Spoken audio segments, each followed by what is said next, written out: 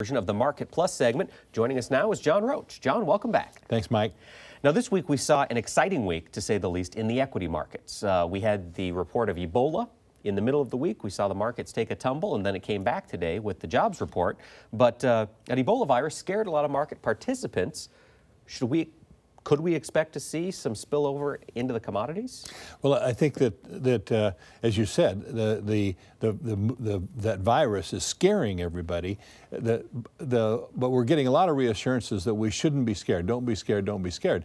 But it just takes a few more cases and some evidence of of transmission uh, amongst people in this country, and you can change a lot of people's attitude about being out in public.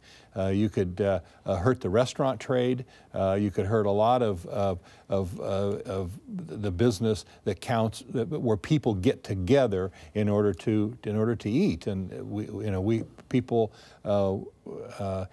can get frightened very easily we just have to wait and see. But uh, although we don't have too many worries in the meat business from a standpoint of the marketplace, those kind of things coming in from left field, so to speak, could really put a damper on things. So as uh, livestock producers need to pay attention to that and understand that uh, if that were to become a major issue, it will have a negative impact on the demand for their product. One more incentive to protect these record prices up in this neck of the woods. It, it certainly is an incentive. Now, maybe it's unnecessary, mm -hmm. uh, in which case uh, you may want to look at a put option to do that. But uh, I'm willing to sell cattle just straight out on futures because I think that the, the market's at a high enough price levels to do that.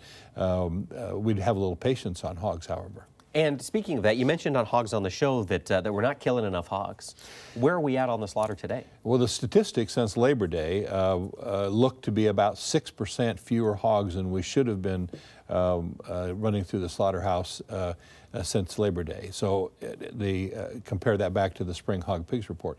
And so uh, the, are the numbers being held back in the breeding herd at a faster clip than what the last report said, or, or are those numbers not there? We'll, we'll have to wait and see.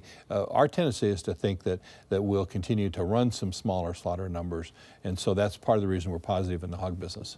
And uh, the pork cutout has continued to be fairly strong. We're seeing cash demands justify these numbers where they're at today mm -hmm. and potentially potentially even higher. Yeah, I think that uh, uh, if the if the numbers uh, slack off, then prices will come higher. Okay.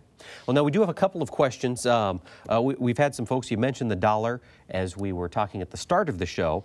We've got Calvin in East Central Iowa who's curious. Big picture.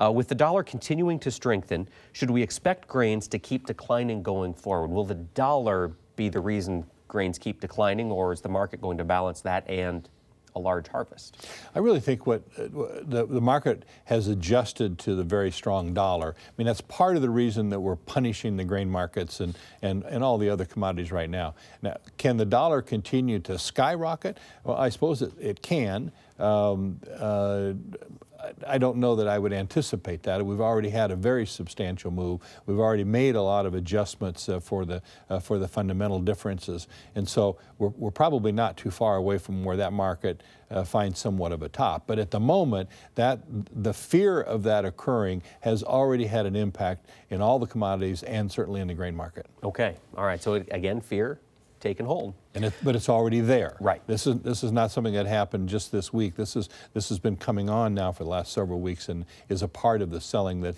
has happened to the, up to this point. Okay. All right. So now now we there's the potential to see the opposite of that. If the market does find a top, we can remove some of that fear from the market. The, the, the, the, selling, because of the dollar strength, is, is more of a speculative kind of a play. If you look at it and see who it is that we sell our grains to, there's really not that much reduced demand that's going to happen because of the strength in the dollar. Uh, the Chinese uh, is our biggest soybean buyer, and that the, the, strength of the dollar is not that big of an impact for them. In fact, is it might help their economy because we'll purchase more Chinese goods because of a, of a bit stronger dollar. Uh, the Japanese are uh, their biggest buyer overall, and and uh, the currency relationship doesn't have that much to do with it. Okay. Uh, so we don't think that that's going to really impact what our total business is, or very much of our business in the grain market, but it does move speculative money And that's what we, that's what's been happening. And now you raised an issue that uh, that Jeff from Twitter has brought up. He's curious, what does usage for grains look like in the next six months? Well, the forecast we, uh, that we've had from the from the USDA uh, calls for higher usage numbers than what we had last year, but not by much.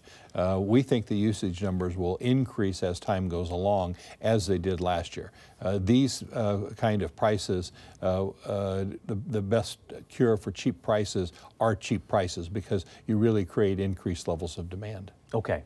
And I know in the past you've said we can expect historically a 2% increase in uh, corn usage. And this year, I believe you, you'd mentioned maybe 4% might be the number we were looking at. Two to four is the normal annual growth rate. Okay. Uh, and we would think it would be toward the upper side of that range, and the government's toward underneath the lower side. Okay. Now, John, before we let you go, we've got a question here from another John in Stephen, Minnesota. He's curious what commodity has the best chance for a major rally this winter and why? What, what fundamentals out there speak to any commodity to have a rally this winter?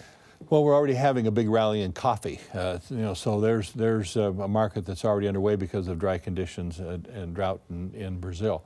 Um, I think it's the corn market. I think that, that will create a very large demand base under corn, and we'll find that we're not going to get increased corn numbers out of South America, and we're going to struggle to get increased corn numbers in the United States this next spring. So I think between now and I'm not sure winter, but between now and spring, I think it's corn.